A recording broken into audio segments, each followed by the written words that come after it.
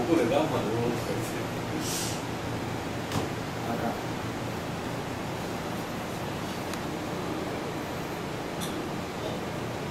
でも不思議とね車でやりました車でやりましたかもできないけど例えば鉄道とか公共交通とかやってもらったらもう絶対みんな知らん話なんですけど例えばどっか旅行行く時に列車を使いましたまあ当然電車なんか。例えばこのかこのままあの特急車あったらエコーかかってました。久々に冬はええけど夏なんか地獄ですよね。